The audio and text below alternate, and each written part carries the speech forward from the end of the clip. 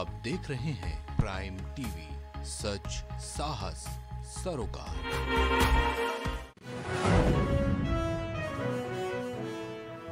से अमृतसर पहुँचे chartered flight के 125 यात्री निकले कोरोना संक्रमित पैसेंजर का आरोप जबर बताया जा रहा पॉजिटिव पीएम मोदी पर नवजोत सिंह सिद्धू का पीएम मोदी की सुरक्षा में चूक को लेकर नवजोत सिंह सिद्धू का तंज किसान डेढ़ लाख के रुके थे। आप 15 मिनट से परेशान हो गए। तीन दिनों की शानदार तेज़ी के बाद साल 2022 में पहली बार गिरावट के साथ बंद हुए भारतीय शेयर बाज़ार।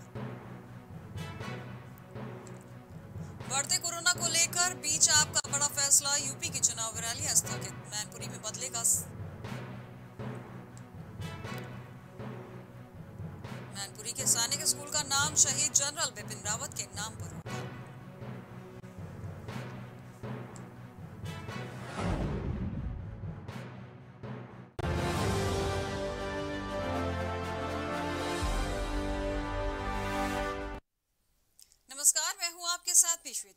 देख रहे हैं प्राइम टीवी। आई नज़र डालते हैं उत्तर प्रदेश की कुछ खास खबरों पर।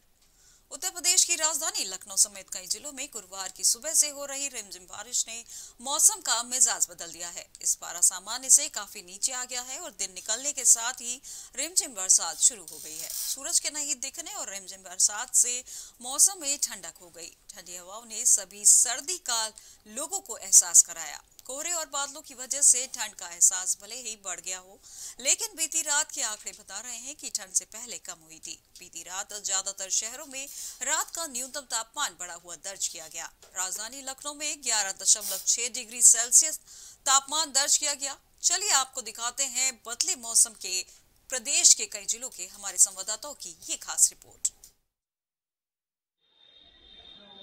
आपको बताना चाहेंगे फरुखाबाद में मौसम का मिजाज थोड़ा सा बिगड़ा हुआ है। बीते दो दिनों से हल्की बूंदाबांदी की वजह से यहाँ का जो सामान्य जनजीवन है, वो अस्त व्यस्त है। फरुखाबाद में हल्की बूंदाबांदी हो रही है, जिससे कि यहाँ की जो आम जनता है, उसका जीवन अस्त व्यस्त है। खासकर जो बुज़ुर्गों को, की जो समस्या है, वो इसमें बढ़ी हुई है सर्दी के कारण।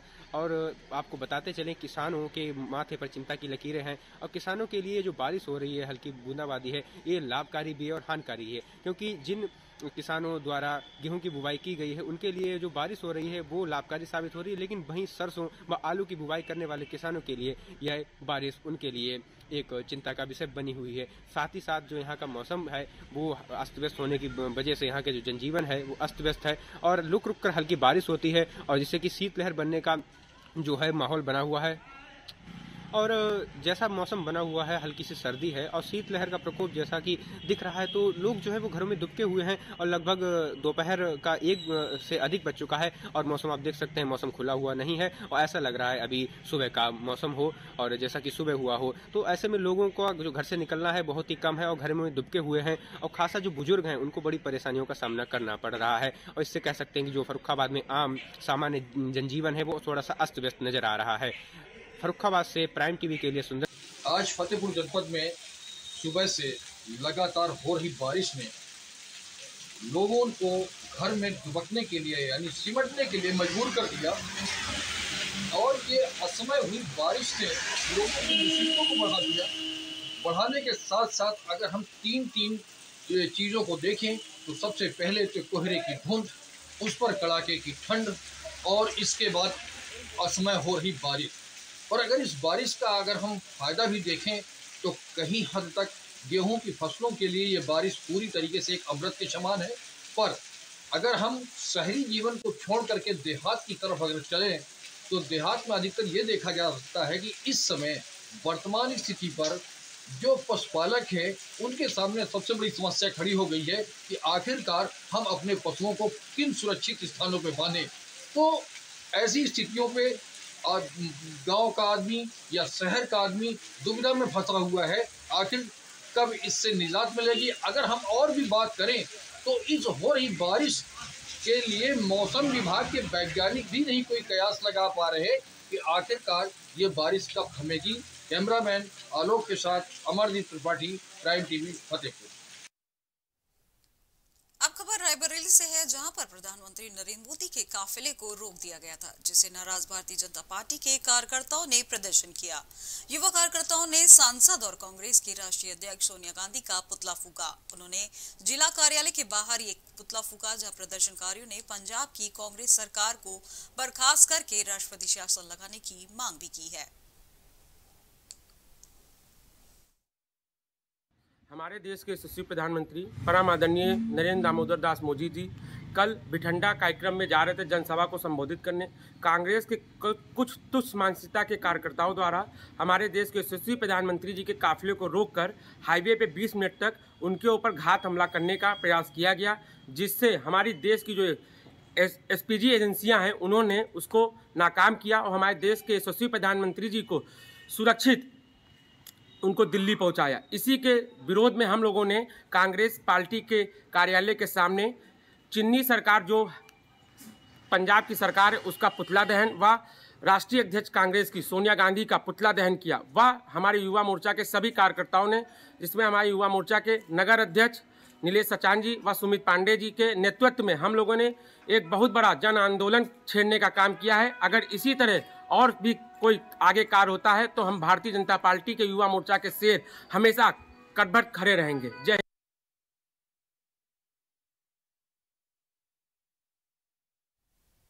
खबर मऊ जहाँ सदर तहसील पर अपनी ज़मीन पर एक चिकित्सक के कब्जा करने का आरोप लगाते हुए अपने परिवार के साथ एक व्यक्ति आमरण अनशन पर बैठ गया। आमरण अनशन पर बैठते ही तहसील प्रशासन में हड़कम मच गया, जिसके बाद तहसील प्रशासन ने पीड़ित व्यक्ति को तहसील परिसर में कोरोना प्रोटोकॉल का हवाला देते हुए धरने पर नहीं बैठने की हिदायत दी, जिसके बाद पीड़ित परिवार तहसील परिसर में धरने पर बैठा रहा। जबकि इस संबंध में आरोप लगा रहे डॉक्टर आई मजहर ने बताया कि वो उनकी ज़मीन है जिसका कागज़ उनके पास मौजूद है। हाँ जिलाधिकारी महोदय ने स्पष्ट कहा है कि जो भी अपराधी प्रवृत्ति के लोग हैं मुख्तार या अन्य कोई भी इस तरह के प्रभावशाली हैं जो अपराध से धन कमाए हैं या अवैध प्लाटिंग कर रहे हैं उनके खिलाफ कार्रवाई की जाए तो उनको भी चिन्हित करने का काम बिना अनुमति के यहाँ हमारा अवसर किए हैं। हाँ।, हाँ इनको बताया गया कि आप नियमानुसार अनुमति लेकर जो करना है करिए। जी। कोरोना ये सब का चल रहा है। हाँ। और बिना अनुमति का हमारा अवसर कर रहा है। क्या कार्रवाई? क्या कार्रवाई की जा रही है? इनको थाने ले जाए अब इनको बताया जा रहा है कि आप अपने घर जाइए। हाँ। आपको अगर अनशन करना है धरना प्रदर्शन करना है तो अनुमति लेकर करें नियमानुसार करें। खालसा उत्तर दक्षिण टोला में मेरी माँ के नाम भूमधरी है। आज पुस्तैनी भूमधरी है जिसको चौरासी में दंगा हुआ तो मेरी माँ लेके चली गई थी। उस समय जो ज़मीन जैसे थी उसको छोड़ के हम लोग चले गए। उस ज़मीन पर डॉक्टर आई मजहर जो मुख्तार अंसारी के बहुत करीबी माने जाते हैं उन्होंने मेरी ज़मीन पर अवैध कब्जा कर रखा है। हाई कोर्ट के आदेश के बावजूद भी मुझे कब्जा नहीं लेने दिया जा रहा है। और इस खबर पर ज़्यादा जानकारी के लिए हमारे साथ हमारे संवाददाता कमलेश पाल मऊ से जुड़े हुए हैं। कमलेश क्या कुछ जानकारी मिल पा रही है इस खबर पे? आखिर क्या है पूरी घटना? आपको बता दें सीखा जी कि ये जो मामला पूरा जो है ये परिवार पीड़ित इनको न्याय नहीं मिल रहा है। न्याय के लिए इन्होंने दर दर भटक भटक कर और डीएम एस तक गए और अब तक इनको न्याय नहीं मिला है। कमलेश जिस तरीके से बोला जा रहा है ये लोग भूख हड़ताल पर बैठे हैं। कितने समय से ये लोग भूख हड़ताल पर बैठे हैं यहाँ पर? लगभग दस दिन हो गया। अब तक इनका कोई कुछ हुआ नहीं और इन्होंने लोग ज़बरदस्त जो भूख हड़ताल पर बैठे हैं। अच्छा यहाँ पे जिस तरीके से परिवार वाले बोल रहे हैं कि हमारी ज़मीन है और वहाँ पे डॉक्टर मजहर कह रहे हैं कि वो हमारी ज़मीन है तो इसमें अभी कोई निष्कर्ष निकल पाया है? नहीं मैम, ये जो डॉक्टर मजहर बता रहे हैं, ये जो है मुख्तार के बहुत करीब बताए जाते थे पहले और प्रॉपर्टी डीलर का भी काम ये करते थे। और अब तक कोई प्रॉपर्टी डीलर पे अब तक कोई कार्रवाई नहीं हो रही है। तो जिस तरीके से डॉक्टर अजहर यहाँ पर अपना पेपर भी दिखा रहे वो भी बोल रहे हैं कि हमारे पास भी पेपर हैं तो किन के पेपर की सत्यता ज़ाहिर हो रही है? अभी इसके विषय में सिटी मजिस्ट्रेट ने कहा कि जाँच हो रही है जाँच होने के बाद अगर पाया जाएगा तो उनको ही दिया जाएगा। जी बहुत बहुत शुक्रिया कमलेश हमारे साथ इस खबर पर जुड़ने के लिए।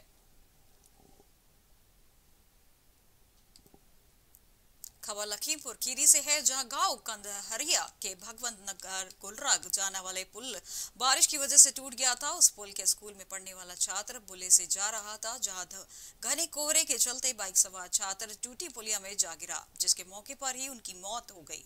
जिसकी सूचना ग्रामीणों ने पुलिस को दी, जिसके बाद पुलिस ने ग्रामीणों की मदद से शव को पुलिया से बाहर निकलवाया और परिजनों के मामले की सूचना दी। वही बातचीत के दौरान ग्रामीण ने जानकारी देते हुए बताया कि ये पुल तीन महीने से टूटा था, जिसकी जानकारी स्थानीय विधायक के अलावा प्रशासन को भी दी गई थी, जिसके बावजूद अब तक पुलिया का निर्माण नहीं कराया गया। खबर लखीमपुर खीरी से आपको बताई जा रही है, जहाँ पर एक पुलिया के टूटने की बात सामने आई है, जहाँ पर कई समय से ये पुल टूटा हुआ था। लोगों ने, स्थानीय लोगों ने इसके मरम्मत की बात भी कही गई थी। उसके बाद भी इस पुलिया का निर्माण नहीं किया गया। वहाँ पर एक बाइक सवार की मौत हो गई है, जिसकी सूचना ग्रामीणों ने पुलिस को दी और जिसके बाद पुलिस ने ग्रामीणों की मदद से शव को पुलिया से बाहर निकलवाया और परिजनों के मामले की सूचना दी गई। वहीं बातचीत के दौरान ग्रामीणों ने ये भी जानकारी दी कि ये पुल तीन महीने से टूटा था, जिसकी जानकारी स्थानीय विधायक के अलावा प्रशासन को भी दी गई, जिसके बावजूद अब तक पुलिया का निर्माण नहीं कराया गया। और इस खबर पर ज़्यादा जानकारी के लिए हमारे साथ हमारे संवाददाता धीरज तिवारी हमारे साथ फ़ोन लाइन पर जुड़ चुके हैं। तो धीरज, क्या कुछ जानकारी मिल पा रही है? क्या है पूरा मामला? बता दूँ, करीब लखीमपुर जो करीब ढाई तीन माह पहले जो है, बाढ़ आई थी, जिससे काफ़ी आधा जिला ग्रसित हुआ था, बाढ़ ग्रसित हुआ था। उसके बाद में जो बाढ़ में जो पुलिया टूटी हुई थी, तब से वहाँ के जो निवासी लोग हैं, वो मांग कर रहे थे, जिला प्रशासन से, तहसील प्रशासन से कि ये पुलिया बनवा भी यातायात भी बाधित होगा लोगों को आना जाना भी दिक्कत है। लेकिन अगर ये कल एक बड़ा अच्छा हुआ, यहाँ पर आपको आज सुबह देखने को मिला, जहाँ पर जा रहे थे, एक मौसम, ठंड का मौसम था कोहरा भी पड़ रहा था उसके वो दिशा में सीधे जाकर के नाले में गिरा, जिसकी मौके पर ही मौत हुई है। धीरज, जिस तरीके से आज सुबह इतनी बड़ी घटना हुई है, उसके चलते अब क्या कार्रवाई की जा रही है? किस तरीके का माहौल देखने के लिए मिल रहा है?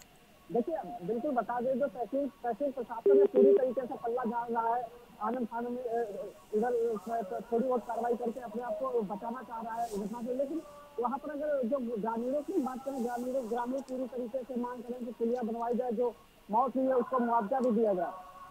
जी कितने मुआवजा देने की बात हुई है? जी बिल्कुल जो ग्रामीण है वो मुआवजे की मांग कर रहे हैं जो परिजन है वो मुआवजे की मांग कर रहे हैं लेकिन अगर वहाँ पर जो तहसील प्रशासन है वो किसी न किसी तरीके से अपने आप को बचाता हुआ नज़र आ रहा है। जी बहुत बहुत शुक्रिया धीरज हमारे साथ इस खबर पर जुड़ने के लिए।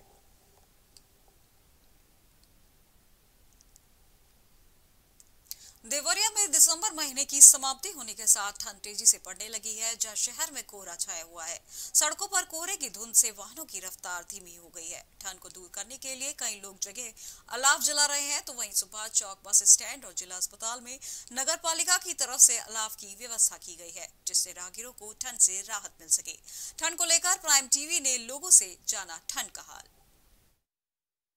दिसंबर माह की समाप्ति के बाद ठंड का कहर काफ़ी तेज देखने को मिल रहा है और हवाओं का गलन भी काफ़ी तेज हो गई है और लोगों को सिकुड़ने पर मजबूर कर दे रही है। और आपको बता दें कि घने कोहरे की वजह से वाहनों की रफ्तार भी धीमी हो गई है। मैं कैमरा मैन से चाहूँगा कि वाहनों की रफ्तार दिखाएँ।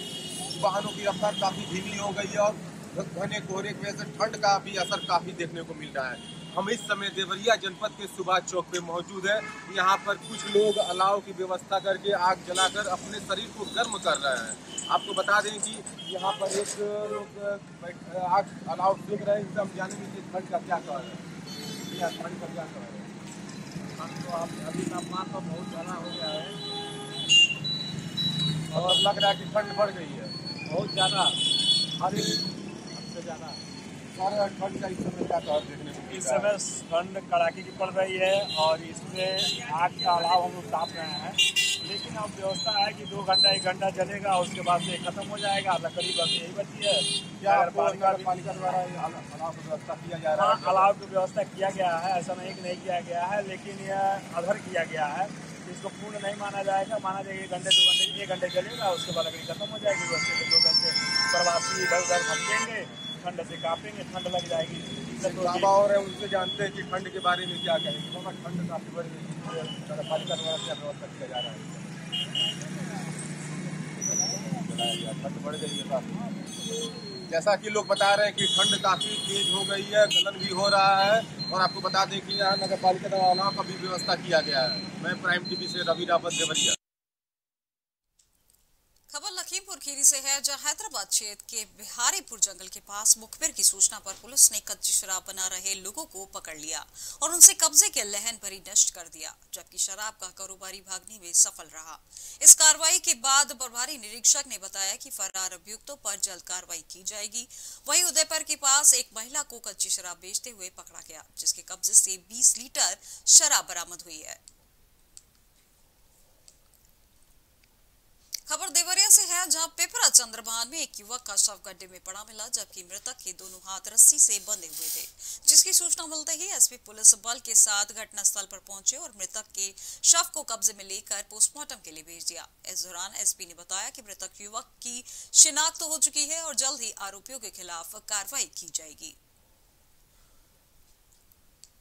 खबर बस्ती से है, जहाँ छावनी के Swami Dayanand Saraswati inter college store room से सो रहे दो युवकों का शव मिले हैं, जहाँ कमरे से निकल रहे धुएँ को देखकर स्कूल के प्रबंधक मौके पर पहुँचे, जहाँ उन्होंने कुछ लोगों को बुलाकर दरवाज़ा खुलगुलाया तो कमरा धुआँ से भरा हुआ था, जहाँ कमरे के अंदर दो युवक मृत पड़े थे, जिसकी सूचना पर पहुँची पुलिस ने शव को कब्जे में लेकर जाँच पड़ताल में जुट गई है।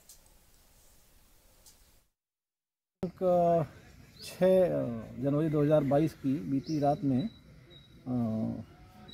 स्वामी दयानंद सरस्वती इंटर कॉलेज शक्तिपुर के कॉलेज के स्टोर रूम में अ, दो व्यक्ति जिसमें एक का नाम शिव कुमार सनाफ रामदीन निवासी निवासी हरजनपुर बाबू थाना हरैया और दूसरा अज्ञात।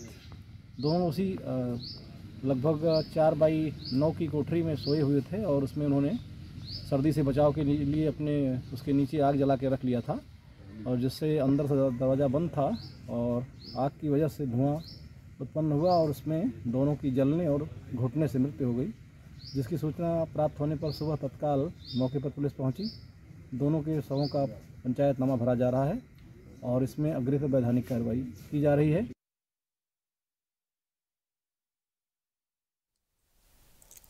अलीगढ़ के थाना गांधी पार्क क्षेत्र में नगला मानसिंह की एक कार चालक को बाइक सवार तीन अज्ञात युवकों ने गोली मार दी। गोलीकांड के बाद हालत गंभीर। पुलिस ने घायल को इलाज के लिए अस्पताल में भर्ती कराया। बता दें कि फायरिंग के बाद से अज्ञात बदमाश मौके से फरार हो गया। वहीं अब घायल का अस्पताल में इलाज जारी है। साथ ही पुलिस ने पीड़ित की तहरीर के आधार पर केस दर्ज कर लिया है और उसी के आधार पर आगे की कार्रवाई जारी है। मैं फोर व्हीलर गाड़ी लेके आ रहा था चला के। हाँ हाँ। मैं जिनके साथ ड्यूटी करता हूँ उनकी चला के लेके आ रहा था मैं। अच्छा। दो तीन व्यक्ति थे बाइक पे पैसन पे ऊपर हम्म हम्म। उनमें से दो उतरे। हाँ। उनने गाड़ी रोकवाई। अच्छा। मैंने सोची रोड पार कर रहे हैं ये लोग। ठीक है। तो मैंने गाड़ी रोक दी मैंने कर लेंगे रोड पार। हम्म। फिर एक आया निकल के उतर गाड़ी में से उतर। मैंने क्या बात होगी भैया? मैंने कुछ तो मैंने आप उस समय गाड़ी में अकेले थे आपके मालिक भी साथ में मालिक भी साथ में अच्छा फिर? वो उतर के गए, कि क्या बात होगी, मैं देखूँ। वो गए थे उतर के कितनी देर में वो आया, दूसरा वाला तमन चले गए चला आपके गोली मार दी खबर आगरा से है जहाँ शमशाबाद थाना क्षेत्र के राजाखेड़ा मार्ग हड़ी थाना बाईपास के पास से विश्व हिंदू परिषद और बजरंग दल के कार्यकर्ताओं ने दो टेंपो में गोवन छिपा कर ले जा रहे चार तस्करों को जमकर पीटा, जिसकी सूचना पर पहुँची पुलिस ने चारों तस्करों को हिरासत में लिया, जबकि मौके पर मौजूद विश्व हिंदू परिषद और बजरंग दल के कार्यकर्ताओं ने जंग कर हंगामा किया, जहाँ मौजूद पुलिस अधिकारियों ने मामले को शांत कराया और प्रदर्शन कर रहे लोगों को कार्रवाई का आश्वासन दिया। आज शमशाबाद बाईपास थाना की गड़ी पर दो टेंपू विश्व हिंदू परिषद बजरंग दल के कार्यकर्ताओं ने पकड़े। कुछ वॉकर्स होटल पर भोजन कर रहे थे और पता चला हमारे कार्यकर्ता जा रहे थे, वहीं से वो पकड़े। अठारह गोवंश उसमें निमला है और छः सात साठ थे उसके अंदर और मौके पर पूरा प्रशासन था उनके साथ और टेंपू, दो टेंपू पकड़े गए हैं। टेंपो और उनको चार लोग पकड़े गए गौकस पकड़े गए, उसमें से दो भग गए। और वो भी प्रशासन की एक दो टीम पहुँची है उन्हें पकड़ने के लिए। दो तीन जगह दबियसी डाली है और बाकी के जो गौकस हैं, उनके नाम चिन्हित करके उनके खिलाफ कार्रवाई और इनके खिलाफ प्रशासन हमसे धक्का मुक्की कर रहा है। हमें दबाव में लेने की कोशिश कर रहा है। आप क्या चाहते हैं कि गाय कटती रहे? अरे निरिए जान प्रधानमंत्री मोदी जी भी कह रहे हैं योगी जी भी कह रहे हैं कि गाय हमारी माता है और आप हमारी माता को डेली डेली हत्या। चौदह पंद्रह लोग थे पंद्रह लोग चार आदमी गिरफ़्तार हो पाए बाकी पुलिस प्रशासन से छूट के भाग गए।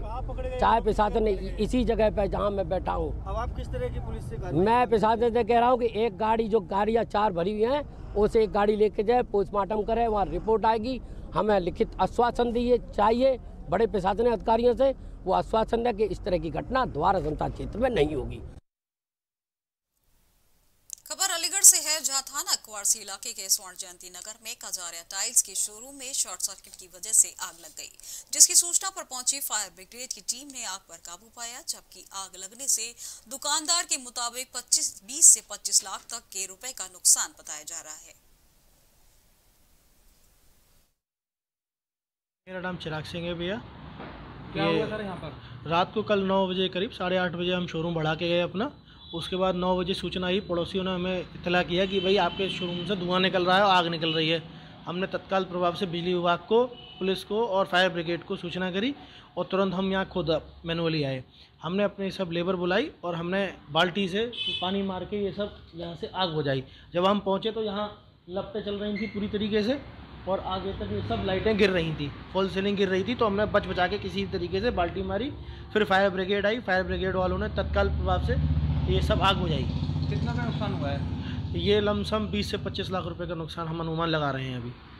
किस और का काम है अपना? हमारा टाइल्स का काम है कजरे टाइल्स का काम करते हैं हम यहाँ पर सैनिटरी का और टाइल्स का।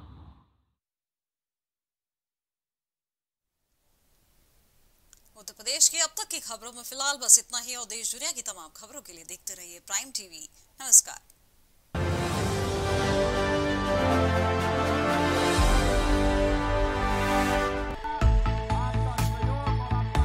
कुछ भाव पुष्प। आप देख रहे हैं प्राइम टीवी सच साहस सरोकार।